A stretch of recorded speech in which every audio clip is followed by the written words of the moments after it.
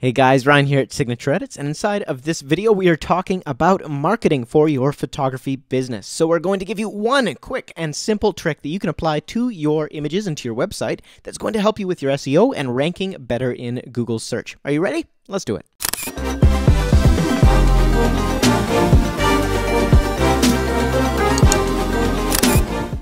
All right, so this video marks the very first of our new series that I'm starting on marketing your photography business. So every day for the next 30 or so days, we'll see how long we go, I'm going to give you a tip, a trick, a strategy that you can apply to your photography business to work on your marketing, to work on your branding, and to work on building your business. Because honestly, from all of the photographers I've talked to, the number one kind of tricky part about building a photography business is not really taking photos. It's more in getting a portfolio first, and second, getting clients who actually want to hire you. So when we can actually do that, we're in a good place, right? So no matter whether you're in the midst of an off season right now or you're just getting started in photography and you maybe want to start building up a business, this is going to be a great series for you to follow. Make sure to check it out every day. Subscribe if you haven't already. Give this video a thumbs up and we will get into it and give you some simple actionable tools and steps you can take day by day by day that are going to help you in the long run and build your business. Are you ready? Okay, so I've given you that explanation. With that out of the way, today's topic is on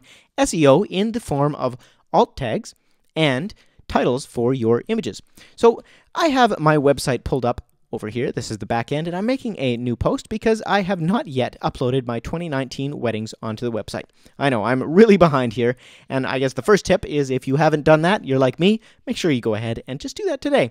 Update your website, keep your content fresh, and that's going to really help both for SEO and for people who visit your website. The last thing someone wants when they're considering hiring you for their wedding is to see that you haven't done a wedding since 2015. That doesn't instill a spirit of confidence. But that's not the tip, that's just a freebie for you.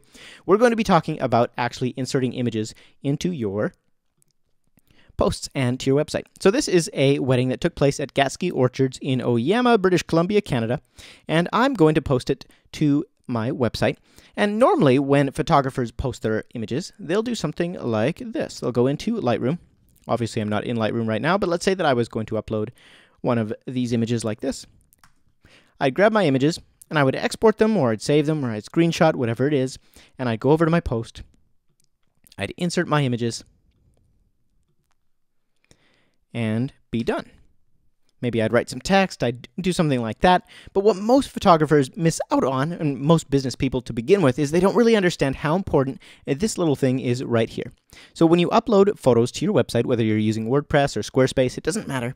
The title of that image is what tells Google what this image is all about.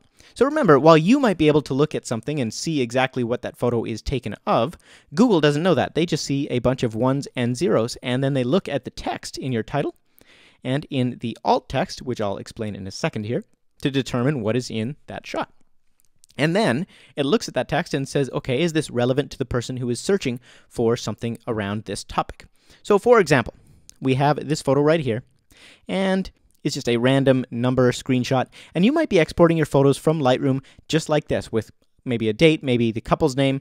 So it might be Brianne, that's a bad spelling of Brianne, and Dave's wedding September 2019, right? And so that's great. We know that it's Brianne and Dave's wedding, but Google doesn't really care, and neither do your brides. So when you actually title your photos, the number one tip I can give you is title them based around what you think brides will be searching for in your area that have to do with kind of the topic of that photo. So this wedding took place at a place called Gatzke Orchards. So I'm actually going to retitle my photo. Gatzke Orchard Bohemian Wedding, Oyama, BC, Canada. Right? And you could even add the region. It's in the Okanagan. And then we could even do a romantic at the front. So now instead of it just being a series of random numbers or a couple's name, it's romantic Gatzke Orchard wedding in Oyama, BC, Okanagan, Canada. So what's happening is when Google is actually looking at this photo, they know it's around these topics. That's kind of what's going on inside of the photo. And so Google might rank this photo and show up in search when someone searches for Gatzke Orchard wedding or if someone searches for Bohemian wedding Okanagan, right? So all of these different kind of combinations could possibly show up in search. Whereas before, if you just had Dave and Brianne's wedding, well, it's very unlikely that anybody is going to go into Google, search for Dave and Brianne's wedding, and happen to click on this and then book you for photography, right? So, my number one tip for you today is to go through your old blog posts, your old media. And if you're using WordPress, it's simply a matter of you go into a post, hit add media, and then you can access all of the files that you've inserted into different posts. You don't have to actually go to those posts and edit them. You just go over to this kind of media browser you can click on the image and just update it. So you can see that this one has been optimized. It says Thompson River University Wedding, and then I have kind of the locations in that university.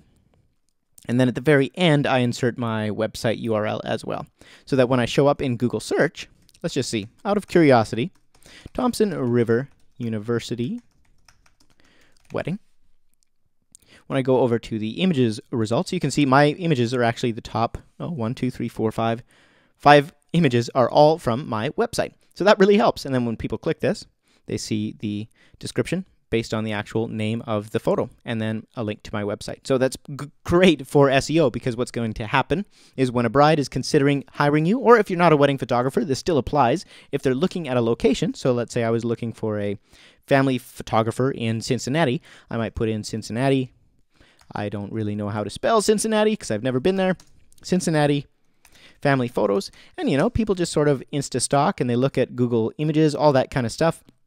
And they'll look for these kind of photos and get an idea. They might say, oh, I really love this edit. And they find out that this was by this particular Heather Elizabeth Studios. They click on that, head to your website, and next thing you know, you have a booking. Whereas if you just put Dave and Becky photo or 013456 JPEG, that's not going to do anything for your SEO. So make sure you are retitling all of your images. And your task for today to move your SEO forward and your branding forward is to go into your images, all of the old ones, and it's going to take some time, but you just go in and you retitle them surrounding kind of those keywords that target the locations of your potential customers. Okay, so that's the easiest thing you can do. Now, what is alt text? Alt text, which is short for alternative sources text, is actually meant to describe what an image is about for people who are either visually impaired or for Google search engines, things that can't actually read text, or when your website isn't loading images properly. So if you ever go to a website and the image isn't loading properly, it will display by default the alt text for that image to describe what should be showing up there but just isn't able to load for whatever reason. So that's kind of the technical definition of what alt text is,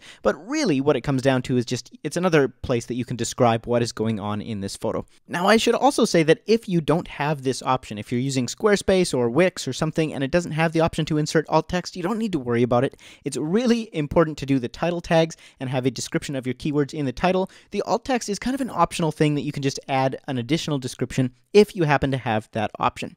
As for the caption and the description, these really don't affect SEO in any major way. If you enter a caption, it will show up under the image in your actual post, whereas the alt text and the title of the image don't show up in your post at all. They're hidden and only seen in the code of your website. So the title might be Thompson River University Wedding, and then I just insert other keywords into the alt text. And you don't want to just keyword stuff, and that means just putting in all sorts of things that have nothing to do with the photo. You want to make sure that the description lines up with what is going on inside of the photo. So, for example, this could be a Thompson River University uh, wedding photo shoot, and that would be an accurate description of what's going on in this, this photo. What wouldn't be accurate is Thompson River University wedding reception.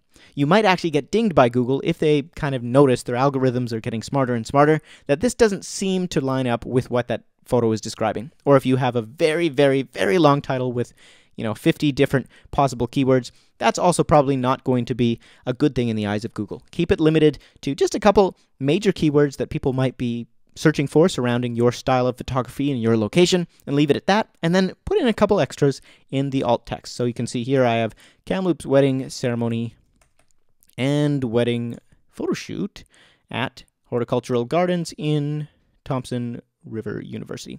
Oh, and there I just did an alternative. So alternative text, we put an alternative to Thompson River University is just TRU, and then I put Thompson River as well. So that's what you can go and do. It's actually pretty simple, and it's especially helpful if you do this inside of Lightroom. So when you're exporting your photos in Lightroom, you can just rename them. And what I'll typically do is most of the time, the session will start with the same kind of title at the beginning of every single thing. So let's go down here. These are all old photos, so I don't know exactly if they're optimized or not. Now you can see this one isn't optimized at all. It says, I am dark, I'm lovely, styled shoot. So that's not going to rank for anything. I could rename it to perhaps Kelowna dark and moody wedding styled shoot at, and then put the venue name. And so what I would do in Lightroom or in WordPress is you just copy that, Command C, and then paste it over here for all of the photos from this shoot. And then what I'll do at the end is I'll add individual details. So uh, this one might be dark and moody place settings. Or I could do that in the alt text as well. So I could go through and give them all kind of the same title. And then the alt text could be a description of what's going on specifically in that photo. So this could be place settings for wedding, purple, and gold. So I hope this makes sense. I don't want to belabor the point too too much. I want to keep this pretty short and simple, and I hope you understand the value of this because honestly, it's going to make such a huge difference. And of course, you're going to apply the same thing to Facebook and to Insta Instagram and to Pinterest, the more kind of keywords that your potential customers are searching for that you can include in the image title and in the description if you're on social media that you're using, the better. So this applies to Facebook, it applies to Pinterest, it applies to everything, but especially to your website because I find most photographers, or a large portion of them, are not really aware of this and not taking full advantage of what it can do for your website and for your SEO. So I hope this was helpful. If it was, do me a big favor, hit that thumbs up button. Make sure to subscribe if you want to stay up to date. Again, I'm going to try and post a marketing tip for you every single day for the next 30 days so you can come along with me, take this, apply, and set aside maybe 30 minutes a day just to work on your website, work on your SEO, work on your marketing. And I promise you, at the end of 30 days, you'll look back and say, this was so, so worth it. I've seen so much progress. And that's what I'm really hoping for for you in the midst of this season we're going through together is that you will see progress in your business despite where you might be right now. Okay, so leave your questions below or comments or suggestions. Do you have other techniques that you use? I'd love to hear about them. Otherwise, I will see you in the next video. Peace.